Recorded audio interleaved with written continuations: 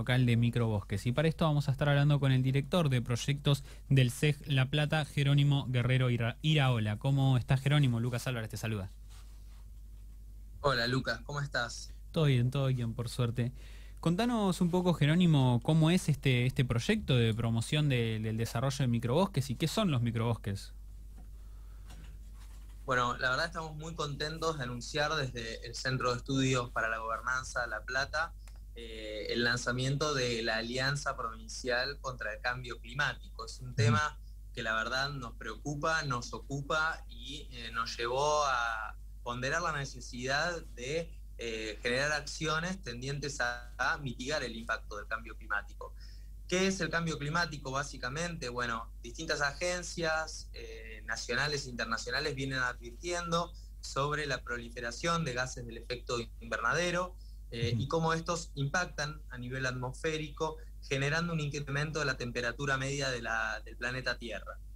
Esto que se viene generando desde la revolución industrial y que la verdad ha ido increciendo con el correr del tiempo, eh, lo que produce es eh, cambios en los ecosistemas que obviamente generan eh, grandes crisis climáticas. Vemos inundaciones producto de lluvias tropicales, vemos cambio de condiciones climáticas en, determinadas áreas o biomas, y es por eso que desde el Centro de Estudios para la Gobernanza, en conjunto con el Centro de Estudios e Investigaciones Platenses, con Suma Causa y La Plata, hemos venido promoviendo esta alianza y como acción concreta, como primera acción concreta, la primera de muchas que tenemos en carpeta y que vamos a ir anunciando a lo largo de este año, promovemos los microbosques. Los microbosques se trata de justamente eh, plantaciones eh, de, bosques en pequeñas superficies, la superficie mínima es de 4 por 3 metros y la máxima es del tamaño de una cancha de tenis, y lo que se genera es la plantación de tres especies autóctonas por metro cuadrado, previo preparación del terreno,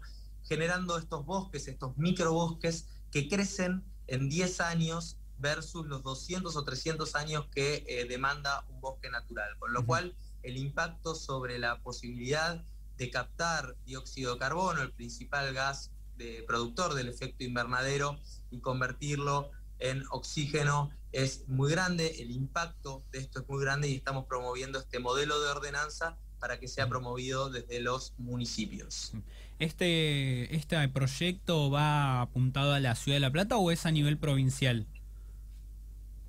Como la alianza es provincial, obviamente vamos a iniciarlo por la Ciudad de La Plata. Estamos trabajando en conjunto con la concejala Victoria Tolosa Paz, que la verdad se ha mostrado muy interesada en este proyecto de ordenanza, en la promoción de los microbosques, eh, y la verdad es que tiene un compromiso muy grande con la agenda relacionada con el cambio climático. Recordemos que ella, además de concejala, es presidenta del Consejo Nacional de Políticas Sociales y tiene a su cargo el monitoreo de los objetivos de desarrollo sostenible, con lo cual estas agendas contra el cambio climático se encuadran dentro de las metas que el Estado argentino eh, ha acuñado para luchar contra el cambio climático dentro de los conocidos ODS de Naciones, eh, de Naciones Unidas, digo bien.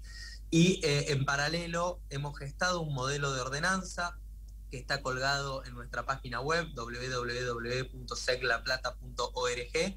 Allí pueden entrar, está en el banner principal. Y este modelo de ordenanza es perfectamente aplicable y adaptable a los 135 municipios de la provincia de Buenos Aires. Creemos que si logramos una coordinación entre todas las agencias municipales y logramos que la provincia de Buenos Aires sea promotora de estos microbosques, que florezcan y que crezcan estos eh, microbosques a lo largo y ancho de nuestra provincia, vamos a estar colaborando activamente para reducir los efectos eh, del calentamiento global, eh, entendiendo que hacia 2030 deberíamos bajar las metas iniciales de crecimiento de la temperatura en alrededor de 2 grados a un grado y medio y entendiendo que aún así, aún así trabajando activamente por esta agenda, vamos a ver cambios en nuestro entorno que harán sufrir mucho a la humanidad. Y estos microbosques, en, ya en lo que es la, ciudad de La Plata, eh, hay, una especie de... tienen que ir apuntados a lugares puntuales o pueden irse distribuyendo a lo largo y ancho de la ciudad en donde haya un espacio? ¿Cómo es eso?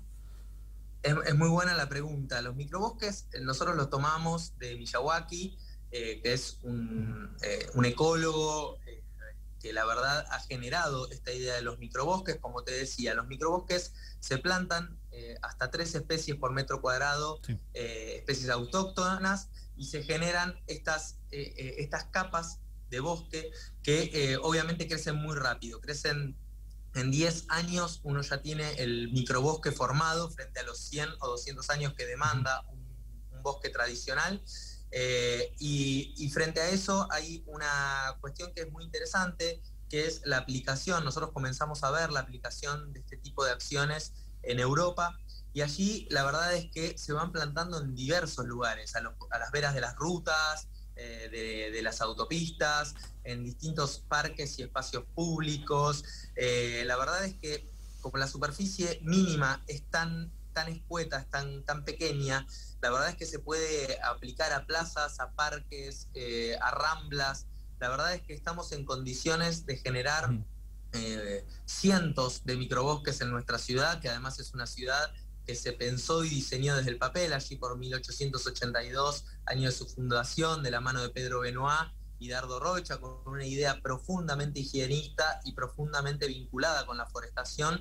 Eh, eso nos permite o nos da la ventaja comparativa de poder pensar eh, la proliferación de estos bosques en los distintos espacios verdes que en nuestra ciudad encontramos, al menos en el casco fundacional, cada seis cuadras, pero también conforme uno avanza hacia los distintos barrios que están por fuera del casco fundacional, también eh, puede apreciar la enorme cantidad de espacios verdes donde podrían eh, crecer y plantarse estos microbosques, con lo cual la ordenanza apunta a esto, a que el municipio adopte esta agenda, a que esta agenda sea una política pública con acuerdo de las diversas fuerzas y entender que aquí eh, es imposible pretender hablar de rédito político, tenemos que hablar justamente de desarrollo humano con perspectiva humana, con justicia social, con justicia ecológica y desde allí eh, gestar las alianzas necesarias para que este tipo de proyectos puedan llevarse adelante. Te agradecemos, Jerónimo, por estos minutos y bueno, ojalá todo esto que están eh, promoviendo se pueda, se pueda implementar y se implemente de la mejor forma posible para, para dar una ayuda, ¿no? Justamente en todo lo que es la lucha contra el cambio climático. Muchas gracias. Muchas gracias a ustedes por darle difusión. Hasta luego. Hasta luego, un abrazo. Ahí hablábamos con el director de proyectos del CES La Plata, Jerónimo Guerrero Iraola, bueno, justamente hablando de esta iniciativa de los microbosques y